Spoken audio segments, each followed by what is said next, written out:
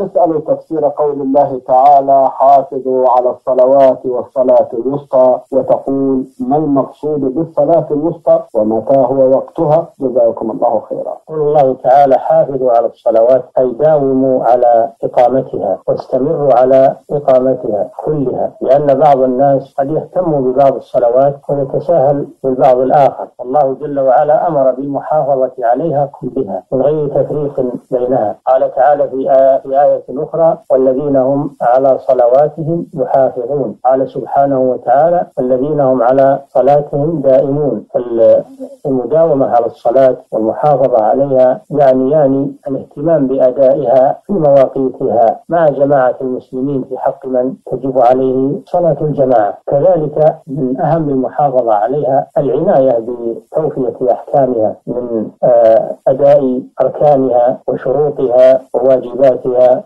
والخشوع فيها هذا من المحافظة عليها. والصلاة الوسطى عطفها الله على الصلوات وإن كانت داخلة فيها من باب الاهتمام بها من باب الاهتمام بها. وإلا فهي داخلة في قوله تعالى حافظوا على الصلوات. ثم عطف الصلاة الوسطى اهتماما بها تأكيدا لشأنها. وأصح الأقوال فيها أنها صلاة العصر. أصح ما قيل في الصلاة الوسطى أنها صلاة العصر وذلك لعظم قدرها عند الله سبحانه وتعالى. نعم. جزاكم الله خيرا وأحسن todo